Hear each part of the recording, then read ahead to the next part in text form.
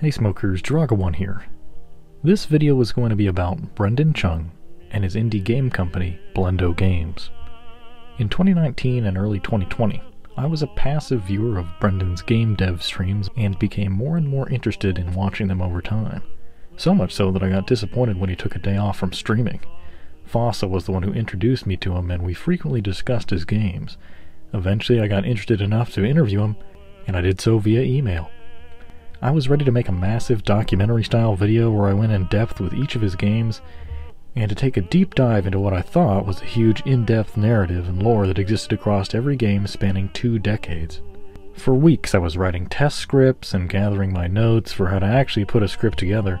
At that time I had just played every single game that Brendon made. Everything was fresh in my mind, and I was just about to dump everything in this amazing universe out of my head into a YouTube video. But as you could probably guess by now, the project had to be put on hold. As I mentioned in a few other videos, my day job got extremely busy for months, and I lacked the energy to complete a huge project larger than the scale of even the Frogger video, which by itself took months to complete. So the Brendon Chung video got put on hold, and I prioritized making some simpler videos when I could. And I hoped at some point things would slow down enough to allow me to finish the video well, now that's happened. Things have slowed down a bit. But the interview I did with Brendon is now getting close to a year old. None of his games are fresh in my mind. Brendan himself hasn't streamed in months. And the funny moments I experienced on stream, I no longer remember exactly when they took place, and I have no idea where to find them. So instead of going into a super complicated hour long editorial essay documentary thing, I'll mainly be going over the interview questions for this video and try to tie in as many notes as possible that will still make sense. So, uh, here we go. Blendo Games is an indie game company consisting of just one person the man, the myth, the legend, Brendon Chung. Well, not entirely. He gets help here and there on multiple different game projects. He founded the company in 2010, 10 years ago. Since I did the interview with Brendon, he teamed up with four other devs, at least, so far as far as I know of, to help with coding, level design, and music to work on his next game, which is mid-development, called Skin Deep, his ninth game, which is based on the Doom 3 engine. He also uses a Model M from Unicomp, and somewhat coincidentally, I just got one, and this script is the first thing I seriously typed with it. Brendon Chung has almost 30 years of game dev experience, most of it from his time at Pandemic Studios in LA.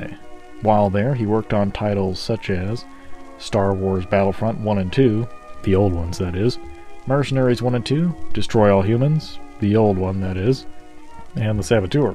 He was a level designer for Full Spectrum Warrior 1 and 2, did a bunch of cinematics and tutorial levels. Lord of the Rings Conquest did multiplayer systems, camera design, tutorial levels, and so on. Going back to his early life history, his first computer was an IBM XT, which he played old junky CGA games on, and first started coding in QBasic. He knew he wanted to make games for a living since he was in 6th grade, and by the last two years of high school he made the Citizen Abel game mods for Quake 2. When he got to college he majored in visual arts with an emphasis in film. Since its inception, 10 years ago, Blendo Games has developed 8 fully released titles to Steam and other platforms. If you look at the games individually or perhaps even casually play them for short stretches of time like I did, you might notice a connection between them. My story starts in 2013 when Humble Bundle released the Blendo Games Bundle. I had seen promotions, ads, and Steam recommendations for 30 Flights of Loving pop up all over the place, and was eager to try it out. So I got the pack of games, which included Air Forte, Flotilla, Atom Zombie Smasher, and, of course, 30 Flights of Loving. At the time, I was only really interested in playing 30 Flights of Loving, so I played it. Although I only remember a few snippets, I have more memories of a friend of mine playing it actually, it occupies a strange spot in my memory I can't really place. After playing it, 30 Flights of Loving sat in my Steam library untouched for 6 years with a total time played of 8 minutes. I know that sounds like I barely tried it, but that was a full playthrough. 30 Flights of Loving is a very short game. When I played it initially, I can't really remember what my opinion was. It was an experience that occupied such a small fragment of my life, and at the time, I hadn't taken in the deeper style of storytelling that was taking place. Back then it was one and done, and I moved on. It wasn't until late last year that Fossa, the guy who you met a few videos ago when we celebrated the Dreamcast anniversary, introduced me to the Blendo Games Twitch channel, which I didn't immediately relate to 30 Flights of Loving, and it surprisingly kept my attention. It was fascinating watching Brendon develop a game in real time, making noticeable progress in game mechanics within minutes. I could really see his current project, Skin Deep, taking shape, and quickly. For several weeks, I'd always watch his game dev streams while working, and soon enough, I fired up a copy of 30 Flights of Loving and gave it another playthrough. It was at this point where I got sucked in and somewhat obsessed by every game he made. And I started to get lost in the world he created. Every game seemed connected to one another and seemed to contain a hidden lore and story that was just out of sight. A story told only in brief fragments, usually without words at all. Its subtle, brief, but powerful emotional moments rocked me to my core, for lack of a better phrase. Provoking an emotional response unmatched by any game I had played up to that point. Brendon was doing something unique, and he was doing it with very little using now outdated but very functional and accessible game engines. After spending years with multiple versions of IdTech and a lot of time in the industry, he has near mastery of the tools, despite their age. Previous versions of this script went into tremendous detail about how the stories seem to connect all the games together into one world, one set of characters, all in a single timeline. The timeline itself seemed to be an alternate timeline to ours, where space travel had been discovered much earlier to the point where there was a moon base in the 1940s and where hover tech existed in the 1980s. Computer tech, on the other hand, kept with our current pace of development. His latest game, up to this point, Quadrilateral Cowboy, is his most involved and most story rich game. It's a very unique title which blends coding and heisting. The method of storytelling is so simple yet so powerful. He does, again, so much with so little. It doesn't matter that everyone is a blockhead and can't actually talk outside of sounding like Peanuts' parents. This was the first game in recent memory that a video game actually made me feel something, a real emotion, um, and not just those fake emotions you get from Call of Duty when they kill a character that they always do every single game. At this point, I'm just not surprised anymore. When I interviewed Brendon, I was high off of this feeling a feeling of wonderment, a need to uncover a mystery, and most of all, an emotional attachment to what I had just experienced. I think I could have done a little better with my choice of questions. Really, it was me and Fossa getting curious about what was going on behind the scenes since we were both enjoying watching his streams. So, since I promised myself I would get this out by Christmas or maybe New Year's, I don't actually know when I'm going to be able to friggin' upload this. We'll have to cut to the chase right here and go to the interview questions. Some of the information in them is going to be a little, it's going to retread some of the stuff we just summarized, because uh, that's kind of where I got some of my information and research was directly from Brendon Chung himself. So, question one What were your absolute favorite games growing up, or when you were younger, and what are your favorite games of all time? And when he was younger, Quest for Glory, Dune 2, TIE Fighter, and Sim City. Of all time, Thief, Far Cry 2, Roller Coaster Tycoon, Company of Heroes, Another World, Myth, and Team Fortress 2. I remember he talked about Far Cry 2 several times on his stream, I think, and that it was it was actually a big inspiration uh, for a lot of different game mechanics and stuff. So I thought that was kind of interesting. Um, not a game I'm not really a fan of actually, but question two: what drew you into Quake 2 modding with the Citizen Abel series? You used this engine off and on for 10 plus years, which culminated in the release of Gravity Bone 30 Flights of Loving, which still used the modified Quake 2 engine. And he responds, I enjoy playing FPS games a lot, and the idea of making my own levels was hugely appealing. I gravitated towards Quake 2 for various reasons. It ran well on my very average computer. It was a mod friendly platform for single player work, and I had a lot of momentum on it from my previous deathmatch level work and prior work on Wolfenstein 3D and Doom 1 and 2, such as the Barista series um, that you can actually still download on his website. You mentioned on a stream once that idTech, specifically idTech 4, uses many human readable file names slash descriptions and was one of the main reasons you have been drawn into using this engine over the years. What other features of idTech have you hooked? This one was a super specific question, and uh, I don't really know why, why I asked it, but uh, it, I just got so curious because I, I, thought it was really awesome that he was still using uh, the Doom 3 engine, and of course it performs incredibly well, and it, the engine feels very responsive, especially in Quadrilateral Cowboy. He replies, The GUI system was, and in my opinion still is, just an incredibly cool feature. He's referring to the interactable monitors and screens like you see in Doom 3 when you're entering in passcodes and reading email and stuff like that. The engine itself is very cleanly written and easy to read. Number four, this was probably something I did out of a little bit of ignorance when I asked it, um, just because I had seen a lot of uh, trashy um, games on the Steam store of people just doing asset flips. And in my mind, I associated that with the Unity engine, so I asked him this. You've steered clear of using Unity for every game project, even though it seems every corner we turn, another indie developer is using it. Do you share the perception that the Unity engine is associated with half baked early access nightmares, despite some wonderful success stories, and have you avoided it as a result? Or does it not have the workflow you're accustomed to, not willing to face the downtime associated with relearning everything? And he replies, I do not share the perception that Unity produces half baked or bad games, no. Personally, I feel engine tech has practically nothing to do with that. The tech we use is whatever we make of it. I'm just very familiar with id Tech engines, and I'm leveraging that.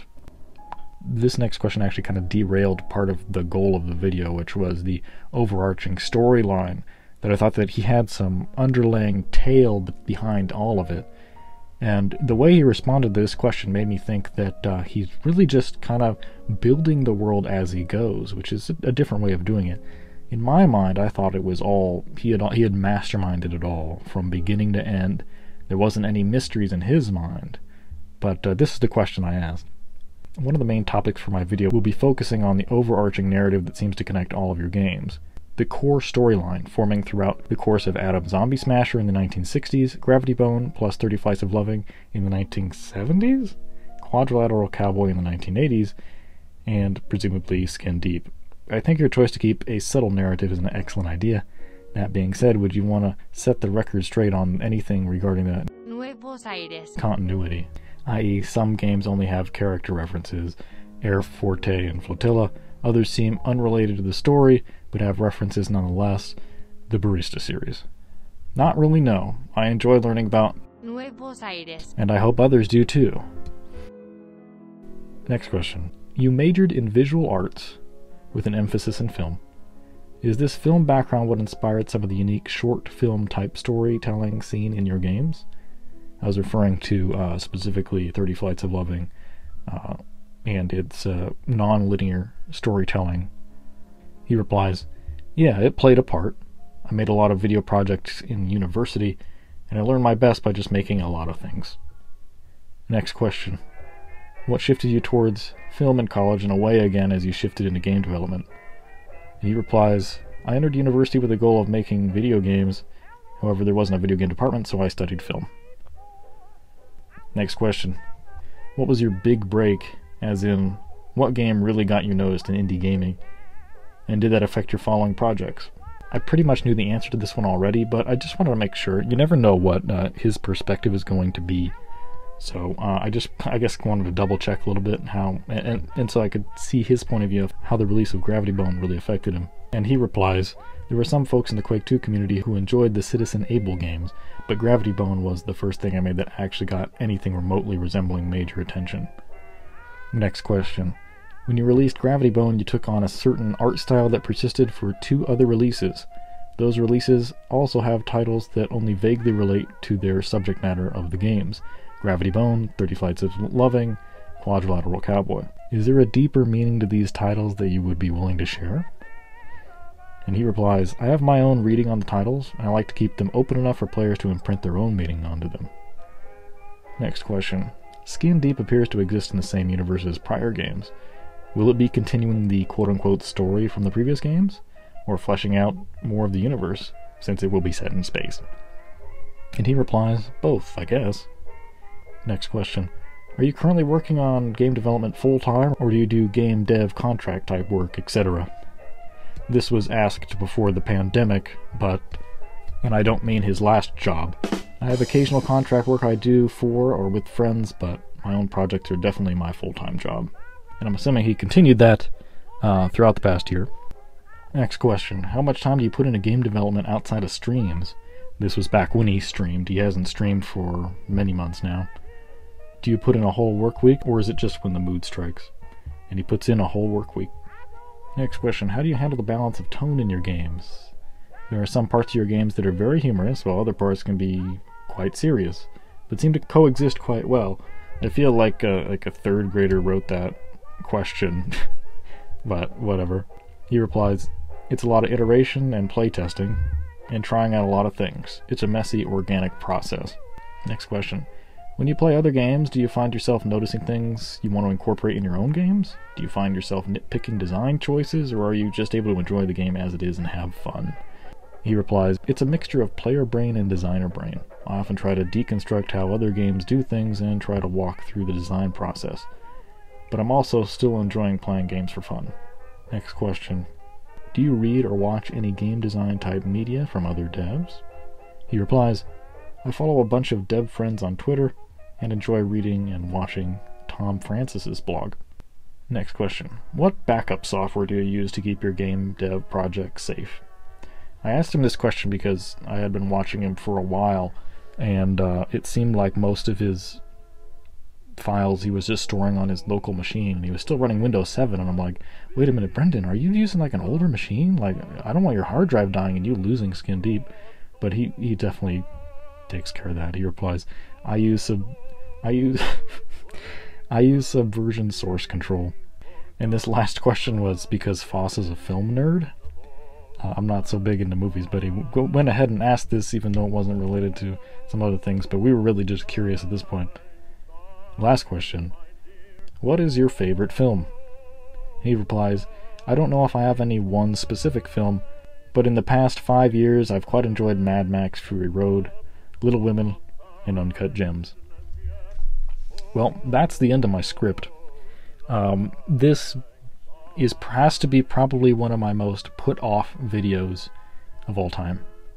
Um, the reason I'm kind of squeezing it out without much work being put into it, even though technically a lot of work went into it over time, uh, I, I really needed to get this video out because it really risked being very out of date. I'm sure at this point there's going to be a lot of uh, inaccuracies, some of which may need to be fixed before uploading. Probably going to miss the Christmas release date. Um, gonna probably shoot for New Year's, whatever works. Merry Christmas, everyone. Um, but uh, yeah, I, I, I, feel this video would never have been released if I let it go into next year. I would have had to do a follow-up interview uh, to to see to get the the skinny on uh, everything that's going on with him. I mean, since since I did that interview, he's like big changes have happened. He's gotten married. Like very recently, I heard he got married. So uh, congratulations, Brendon. Uh, so I don't have too much else to say here. Um, thanks for sticking with the channel. Uh, I know things have been much slower this year. We haven't had a lot of videos. Uh, been uh, trying to do it when I can. It's it's been hard to get back into the groove of doing videos uh, when uh, you you start to not do them as much. So uh, I don't have really too much else to say. Um, the only other thing was is that I was surprised how many references to Christmas there were when I was recording the B-roll footage, which was kind of weird. Um, also, uh, this came out right around the time Cyberpunk came out, and not only did me playing Cyberpunk delay this video getting made, but uh, Quadrilateral Cowboy is also a Cyberpunk game. I wanted to make a joke about that, but I didn't really know what it was going to be. but but uh, uh, eat your heart out, Cyberpunk 2077. if I had, I think if I had to choose between one game I got to keep and one game I would never be able to play again, between Quadrilateral Cowboy and Cyberpunk 2077, I'd probably stick with Quadrilateral Cowboy. So, uh, thanks everybody for watching. I'll see you next time.